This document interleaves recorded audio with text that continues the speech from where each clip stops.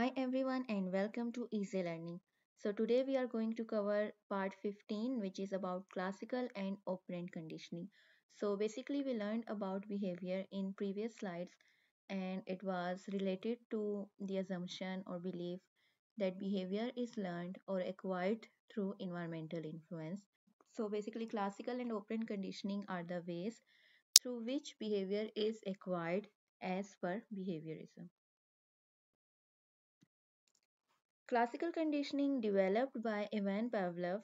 Classical conditioning is a learning process that occurs when two stimuli are repeatedly paired.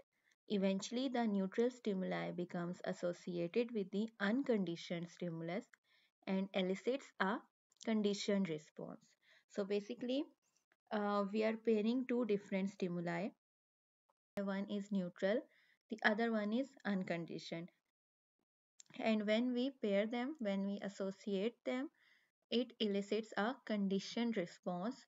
Uh, we will go through an example to understand this.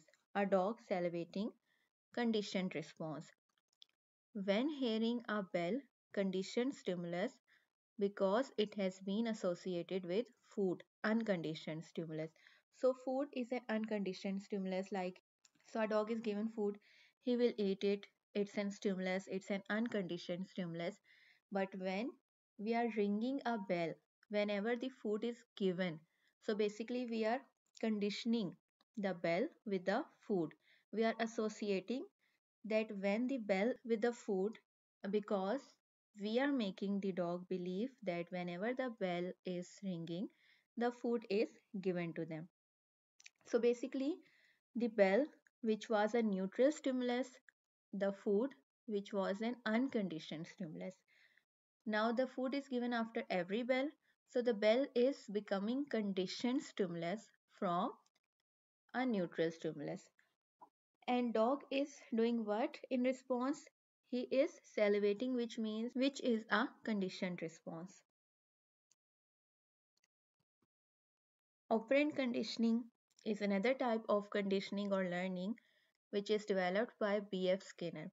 It focuses on how behaviors are influenced by their consequences.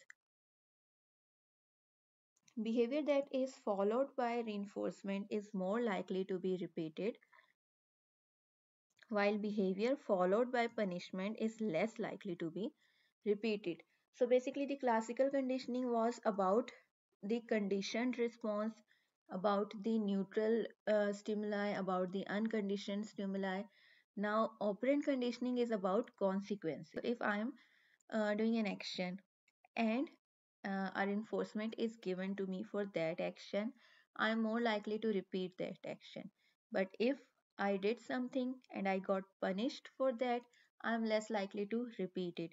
For example, I uh, I completed my homework, I completed my classwork, I completed my assignment, and my teacher praised me.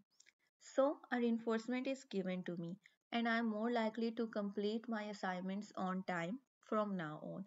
So this way my behavior, my future behavior was influenced by the reinforcement which means influenced by the consequence and so on. If I am not doing my homework, if I am not doing my assignment and the teacher is punishing, so this way I will not doing the homework thing, not doing the assignment thing, I will start completing the task and this way my behavior again was influenced by the consequence I received.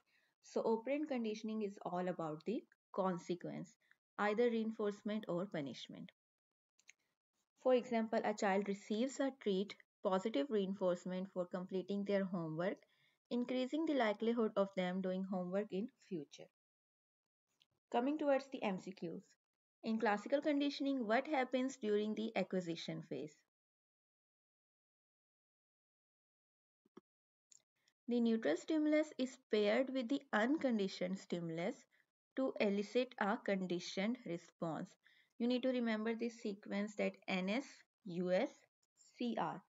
NS is paired with US to elicit what? A CR. Which of the following is an example of negative reinforcement?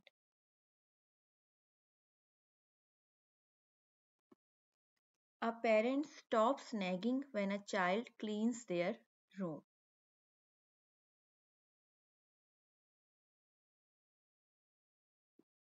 In Pavlov's experiment, which element was the conditioned stimulus? The sound of the bell. In operant conditioning, what is the purpose of punishment? To decrease the frequency of a behavior by adding or removing a stimulus. Which of the following demonstrates extinction in operant conditioning? A child stops asking for candy because their parent no longer gives it to them. This was all about today.